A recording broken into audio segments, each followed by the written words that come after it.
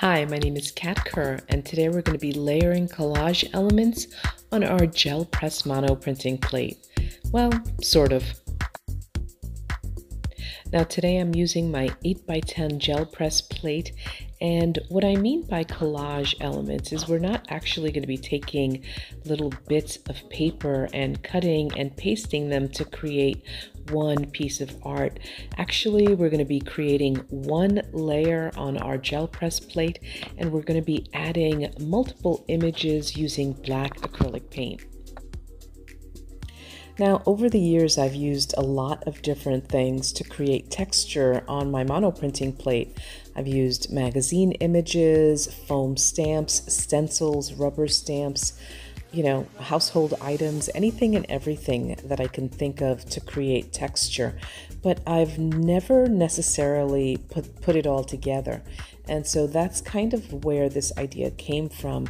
I was creating this transfer uh, using a magazine image, and I realized that there was still quite a bit of space left, and I wanted to fill it up. Now, if you've never made a transfer with a magazine image, basically you're just adding a thin layer of black acrylic paint and then you're pressing your image onto your plate and just gently rubbing it. You don't want to press too hard because it can distort your image. And then you just pull it off and you should be left with the transfer on your plate. Now, as you can see, there were some images that didn't transfer uh, the way I wanted them to, or they weren't uh, complete. And so I'm just taking a baby wipe and wipe, wiping away the parts that I don't want. Now it's at this point that I start to realize that I, I want to continue to fill up the space. So here I'm just taking another magazine uh, image and I also decide to add some of my foam stamps and I had some of that black acrylic paint left over and so I just decided to add some to a foam stamp and, and then just place it directly onto the plate.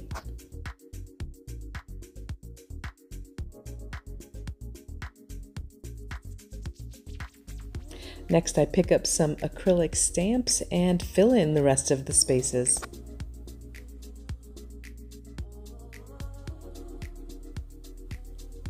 Now, at this point, it really hits home the whole collage idea. It, it's the same thing as taking little bits of paper and cutting and pasting them onto a uh, substrate to create uh, one piece of art. I'm doing the same thing here except with black acrylic uh, paint and I'm using different elements to create the textures and I really love the way this came out. Uh, the only thing left to do is now add some color. Now I did want my focal to stand out a bit and so I just added this light chartreuse color and the rest of it is magenta.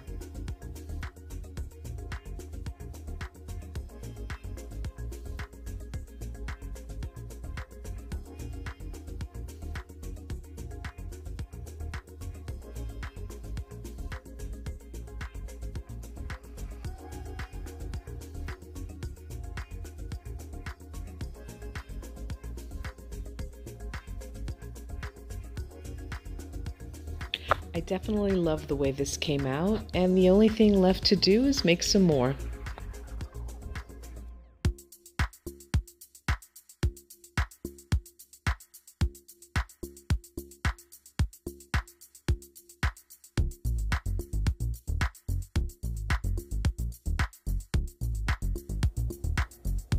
Now this transfer came out great. Unfortunately, it looks like she doesn't have any clothes on, so I just took it as an opportunity to add more elements.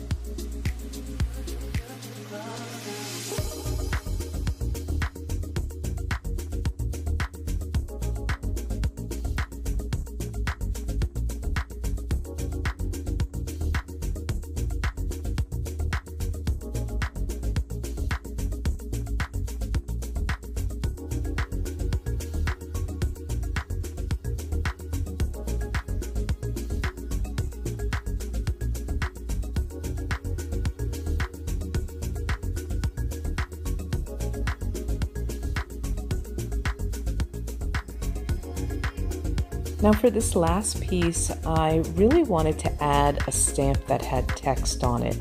And if I added the stamp to the mono printing plate, the text would have come out backwards. So I simply added the stamp at the end. Well, I hope that you enjoyed this tutorial. I definitely had a lot of fun making it, and I hope you make your own collages, mono prints, whatever you want to call them, and have fun. For more gel press ideas, be sure to stop by gelpress.com. Thanks for watching.